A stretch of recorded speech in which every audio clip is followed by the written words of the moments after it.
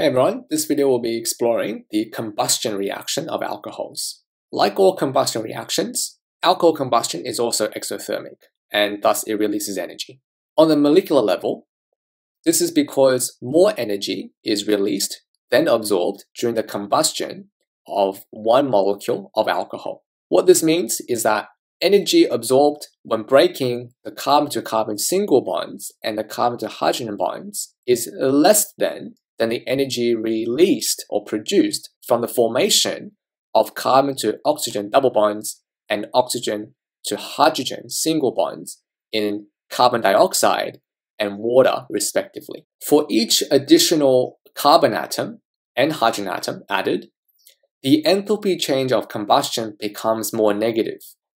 This means more energy is released per alcohol molecule as the size of that molecule gets larger.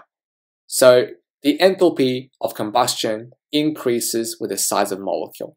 Let's look at the energy involved in bond breaking and bond formation more quantitatively. The breaking of C, C bond and CH bond requires the absorption of these two amounts of energy.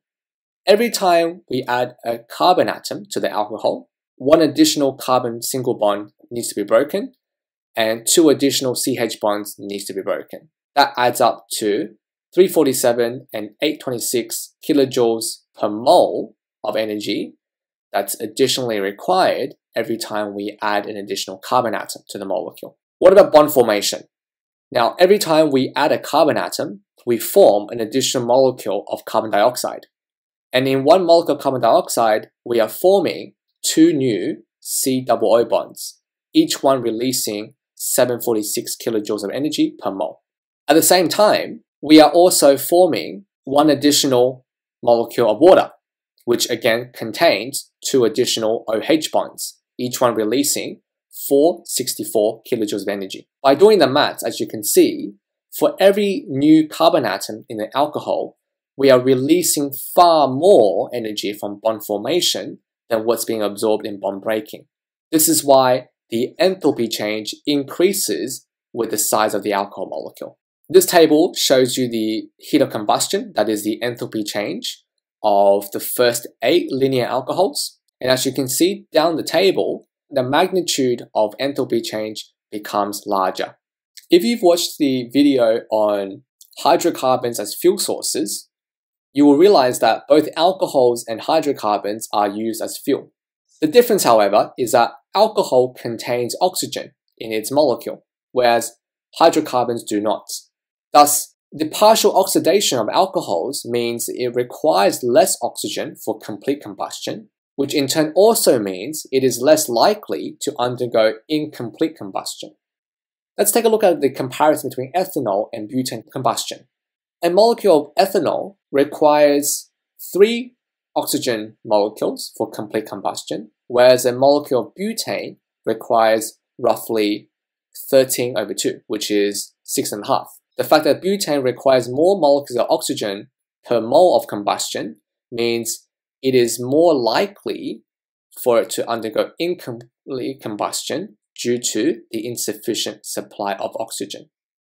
The amount of heat energy produced by combusting alcohols can be measured by determining the temperature change of a volume of water that's absorbing the heat from the combustion reaction. The enthalpy change of a particular alcohol can be measured by using this simple experimental setup.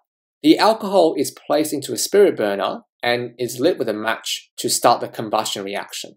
On top of the burner, we have a beaker containing a volume of water placed on top of a gauze mat as well as a tripod stand. We then use a thermometer to measure the temperature increase of the water as a result of the heat that's being produced by the alcohol combustion. In this experiment, we are making a very large assumption, and that is we are assuming the heat released by the burner, that is a combustion of alcohol, is fully absorbed by the water, that is, there's no heat loss. Thus, if we can measure the change in temperature of the water along with the mass, which should be known, we can calculate the heat that's being absorbed. And this is the heat that's being produced by the alcohol by the assumption. And thus we can divide the heat produced by the number of moles of alcohol that we used to calculate the enthalpy change of combustion. Let's talk about the validity, accuracy, and reliability of this experiment. Whether the experiment is valid or not depends on its aim. If you're trying to use that experimental setup to measure the actual enthalpy change, then the results will always be invalid. There are two reasons for this. Number one, incomplete combustion is fairly common when we're using a spirit burner due to the insufficient supply of oxygen. You will notice the presence of incomplete combustion by the formation of soot right under the gauze mat. Incomplete combustion produces less energy than complete combustion, which interferes with what you're measuring and thus the validity. More importantly, a substantial amount of energy, that is heat, produced by the burner is in fact not absorbed by the water. This means the experimental results that we measure will always be lower than the theoretical values of enthalpy change of a particular alcohol. However, if the experimental aim is to compare the enthalpy change, that is how much energy is produced from combustion between alcohols, then the results will be valid. Since larger alcohols will have a more negative or larger enthalpy change value, they will always produce more energy. This means the water in the beaker will absorb more energy and thus experience a higher temperature change.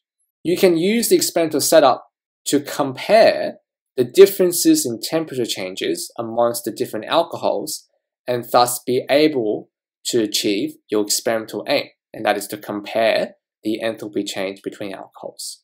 In terms of accuracy, most of the time your experiment will be inaccurate, and this is predominantly due to the fact that most of the heat produced by the burner is lost to the surrounding.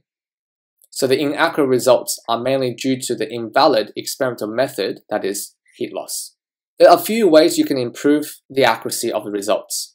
You can move the spirit burner closer to the gauze mat or the beaker to reduce the heat loss, since the smaller distance means heat will be more likely to be absorbed by the water before it is lost to the surrounding. You can also place an insulative heat shield around the setup, like the one shown in the diagram, to prevent heat from being lost to the surrounding yet again. Thirdly, you can wrap polystyrene, which is foam, around the beaker to reduce heat loss from the water. Despite the fact that this experiment can produce invalid and inaccurate results, they are typically reliable because if you do the experiment in the same way, in a consistent manner, without changing the method, you'll produce numbers that are fairly similar and consistent, and therefore they're determined to be reliable.